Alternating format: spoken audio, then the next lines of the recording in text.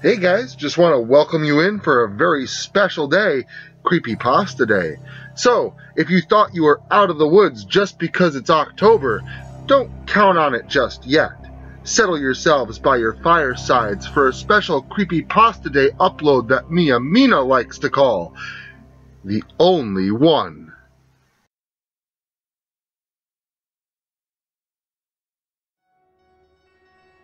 The beginning of our annual camping and hiking adventure was uneventful. We started at Bly Gap, North Carolina, traveling north on the Appalachian Trail toward the Great Smoky Mountain National Forest backcountry. Our planned hike took us the whole 95.7 mile trail in North Carolina from the Georgia state line to the Virginia state line, then back down to Northern Cherokee National Forest, off trail, for five additional days of hiking. Our conversation centered around taking the whole Appalachian Trail next year. The five to seven months to complete the hike from Georgia up to Maine was a dream for us all. That night, we were off trail in the Great Smoky Mountain National Forest for our first night of four. It usually took two days for us to get through, but we plan to take our time this year. Camping off trail in the backcountry let us explore the area as we had not in the past. Our small nine person group was two per tent, except me. After our second annual trip, my fiance, Ezra, and I got a new tent due to storm damage. Since Ezra died shortly after the new year, the year after, I had extra space in my tent for supplies. We packed the supplies around the perimeter of the tent, leaving me in the center. I made a path to the center around the supplies, so there was no direct entry from the front of the tent to me. Like many campers, we told stories around the fire in the center of our five tents of the land and her legends. Having grown up in the tribe, we heard lots of stories about creatures which hunted, chased, and fed off animals and men. We told the stories with a high level of memory after hearing them so many times. Elia, Penny, and I were born and raised Cherokee. Penny's father was a Didnowski, or medicine man. While she had not followed his path, we had grown up with a few stories and tales he and the other elders told. Often, she would tell us stories we hadn't heard yet to scare us. We drifted off to our tents as the night wore on. Eric and Sam were the last two at the fire. We all were asleep from our long hiking day before it was too late. I'm not sure exactly how much time had passed when I woke up. I'm not really sure why I was awake. I looked around in the dark of the tent, listening to the woods. A slight amount of light from the moon filtered through the trees. In the dim light, I thought I saw the shadow of a large elk buck outside the tent. Instead of the four hooves I expected from the elk, I heard something bipedal walking around the tent with soft footfalls. As a scout and trail guide, I knew how to tell. There were only two at first. Then, it changed.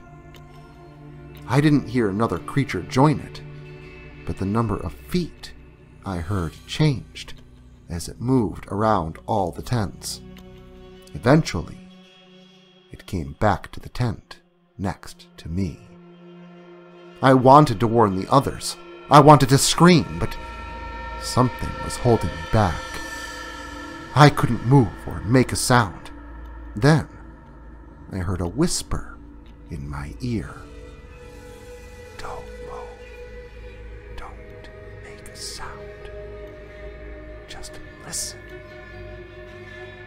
I found I had no choice.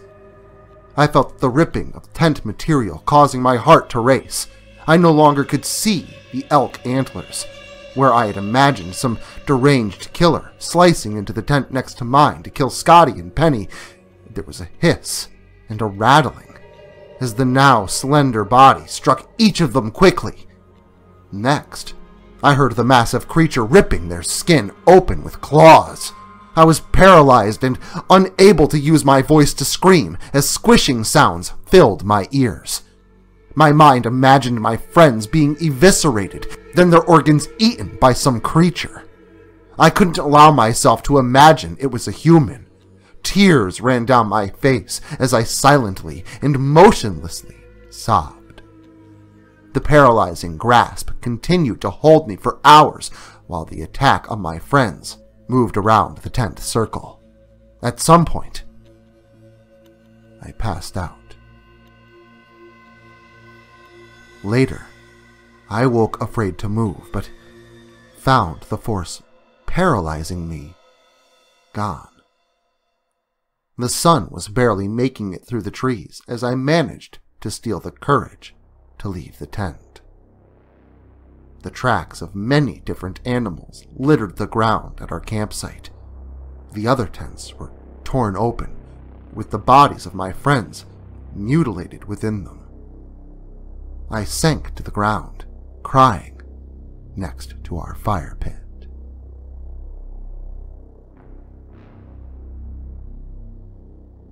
A search and rescue team found me a few days later, curled up in the fetal position in my tent. Dehydrated and traumatized, was afraid to move or leave the tent. Though the creature came back every night to feed more on my friend's remains, it left me alone and alive. I tried to describe what I heard, but ended up in sobs again. The Cherokee scout, Kevin, went pale as I spoke of the creature, which left the multitude of tracks in our camp. I had no physical description or name for the creature. When alone, Kevin whispered of a nameless creature, newly discovered in the mountains, yet ancient. It had been able to hide until now. Man had encroached on its habitat, revealing its existence to few who, like me, survived. Laying on this hospital bed, I continually ask, Can someone please explain to me why I'm not dead? Why was I left alive to dream of these terrors? Well, if you were thinking about camping out with your favorite monsters this creepy pasta day, maybe think again. But don't go too far. Remember that shortly we begin the 13 days of Halloween, and until then, have a happy creepy pasta day.